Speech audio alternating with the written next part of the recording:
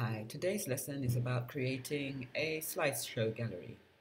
Um, we, will, we will use images and create a table layout and hopefully um, create a nice visually pleasing slideshow. First thing we're going to do is we'll, we'll, we'll, create a new site. It's always an idea to keep to create a new site for a new project, a new web project. And to keep you in practice, we're going to quickly create one now.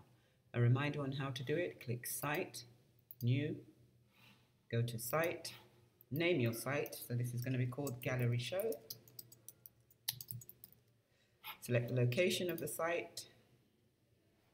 Now, because I had previously created one, I'm going to call this Gallery Show 2. Um, select the location for the site. It should be in your sites folder. If there's no folder already existing, click, click new folder and create it. Call it Gallery Show.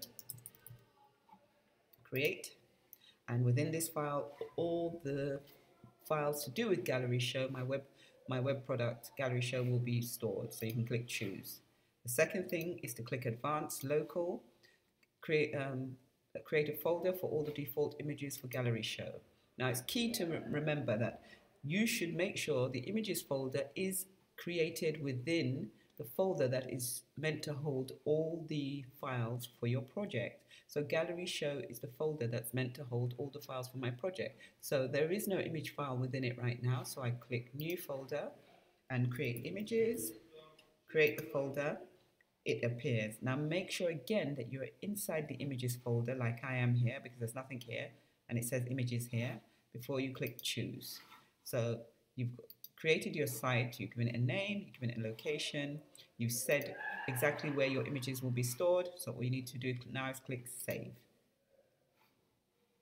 Um, the root folder, da, da, da, okay, there you go. So you know it's been created because it says gallery show here, and then here it also says site gallery, and the images folder is highly visible. So that's that. The next stage is to create the page for the gallery it's going to be a HTML page, so we need to create a new HTML page, like that. New document, HTML, give it a title, which is Gallery Show. Make sure it's HTML5, make sure there's nothing in the CSS, and click Create. So that's our, the first step.